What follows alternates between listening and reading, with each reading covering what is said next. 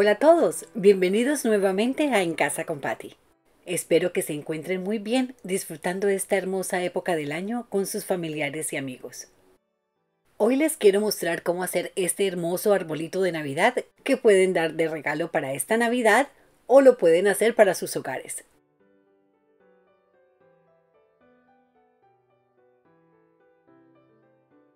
Los materiales que vamos a necesitar son tijeras, cordón de macramé o cordón de yute, palitos de bruchetas o un poquito más gruesos para que no se les tuerzan, silicona caliente y vamos a reciclar un recipiente plástico, puede ser uno de margarina.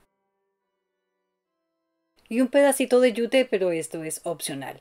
Para decorar pueden usar lo que ustedes deseen.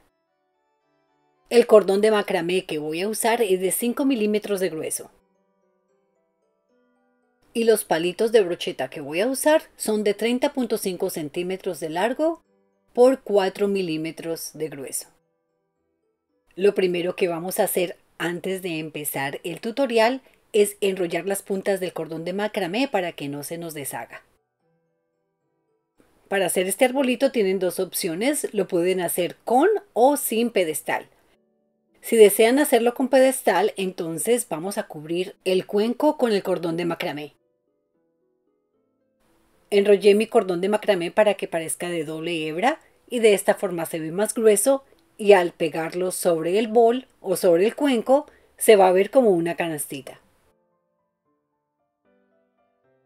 Quiero que tengan en cuenta que la silicona caliente no pega muy bien sobre el plástico. Así que en la primera vuelta pegan el cordón sobre el plástico para que lo sostenga, pero ya la segunda vuelta enfóquense en poner un poco más de silicona caliente sobre el cordón. De esta forma van a pegar el cordón sobre cordón y no se les va a deshacer el trabajo.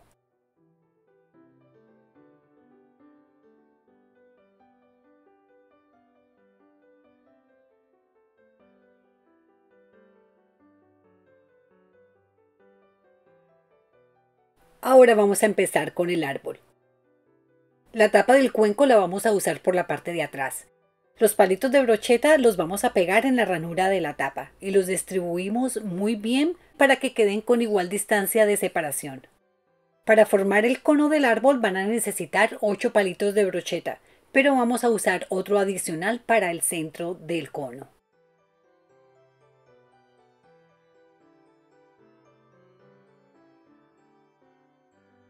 Si desean pueden amarrar las puntas del cono en la parte de arriba. No lo hice de esa forma porque los palitos me quedaban unos sobre otros. Entonces lo que hice fue añadir otro palo.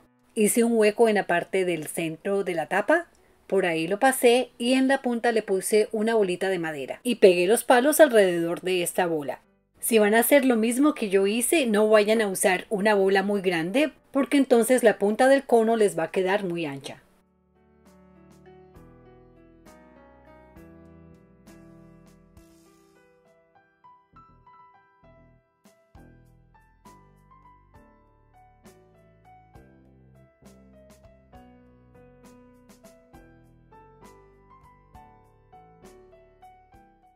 Le ponen un poco de silicona caliente al hoyito que abrimos debajo de la tapa y cubren el borde de esta tapa con el yute para hacer contraste de colores. O si prefieren que les quede el árbol de un solo color, le ponen en el borde cordón de macramé.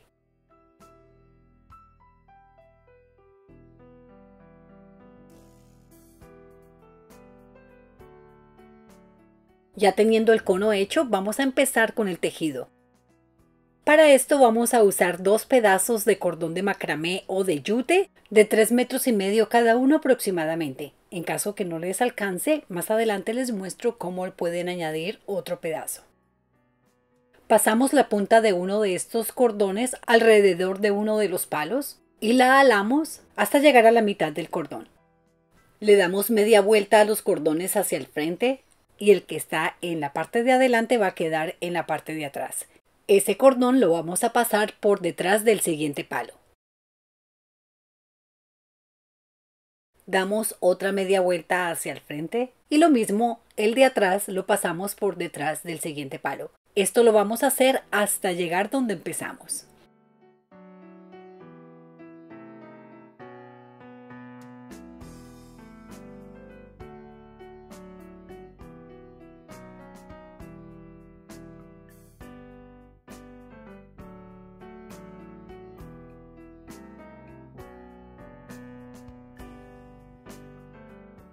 Cuando terminen la vuelta, no vayan a enrollar el primer palo donde empezaron.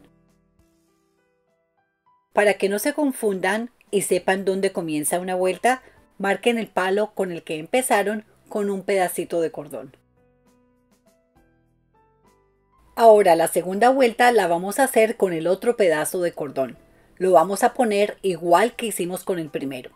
Pasamos el cordón alrededor del primer palo y llevamos el cordón hasta la mitad. La diferencia con este cordón es que en lugar de hacer el giro hacia adelante, lo vamos a hacer hacia atrás.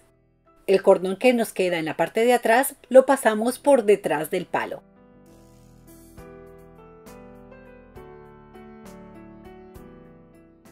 Damos otra media vuelta hacia atrás y el cordón que está en la parte de atrás lo pasamos por detrás del palo.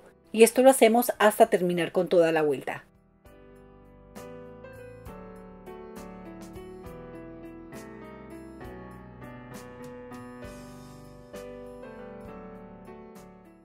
Aquí les voy a dar los tips para hacer este árbol. Si el cordón se les mueve mucho, le pueden poner un poquito de silicona caliente a los palitos para que no se mueva. Y otra recomendación es que no aprieten mucho el cordón porque entonces los palitos van a perder la forma. Aquí como ven tenemos los dos cordones, con el que hicimos el primer tejido y con el que hicimos el segundo tejido. La siguiente vuelta la vamos a hacer con el primer cordón, dando el giro hacia adelante como veníamos haciéndolo.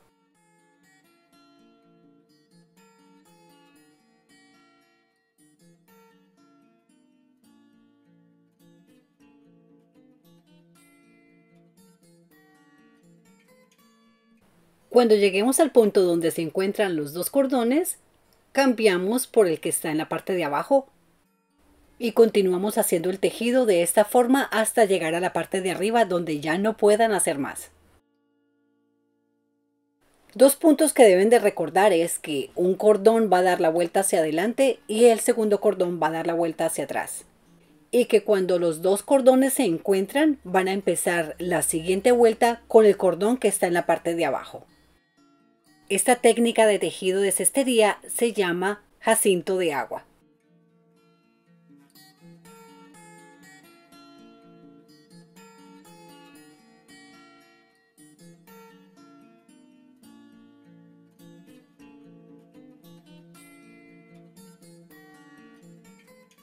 Les voy a mostrar lo que hice cuando se me terminó el cordón y tuve que añadir otro pedazo. Crucé los cordones les puse un poco de silicona caliente donde se unen y escondí las puntas dentro del cono. Añadí otro pedazo de cordón y continué con el tejido.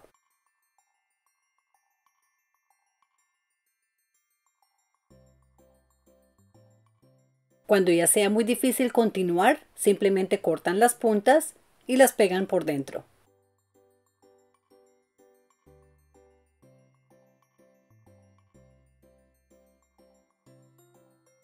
Ya para terminar, añaden otro pedazo de cordón para cubrir el resto de los palos hasta llegar a la punta.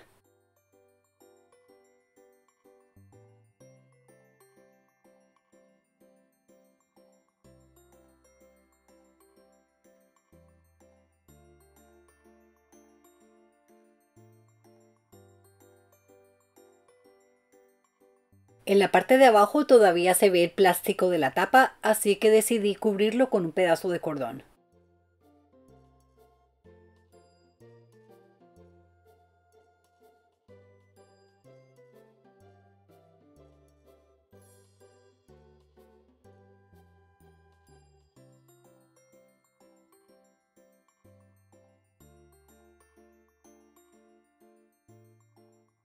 Para decorarlo lo pueden hacer como ustedes deseen. Yo le puse unos pinitos,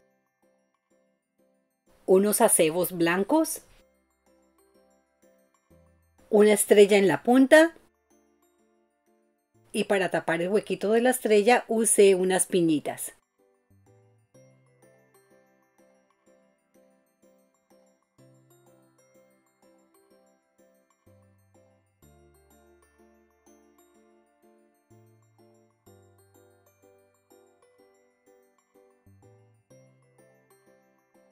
También le puse unas piñitas en la parte de atrás. También decoré la parte de abajo donde se unen los cordones.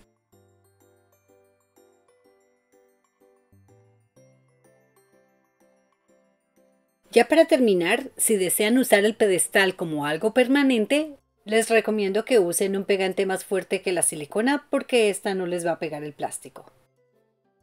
Ahora les voy a dar dos ideas muy fáciles y sencillas si desean usar este arbolito como lamparita de Navidad. Simplemente ponen una vela de baterías debajo del pedestal y la luz se va a ver en el arbolito.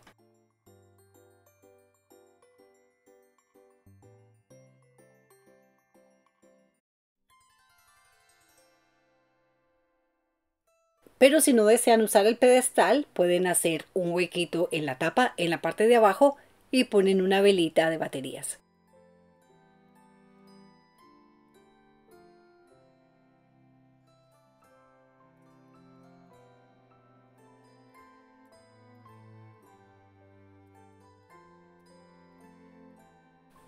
Bueno mis queridos amigos, eso es todo por hoy. Espero que hayan disfrutado este video tanto como yo disfruté haciéndolo para ustedes. Díganme en los comentarios si les ha gustado y si lo piensan hacer. Creo que sería un hermoso regalo de Navidad. ¿Ustedes qué opinan? Antes de despedirme, deseo darle la bienvenida a mis nuevos suscriptores.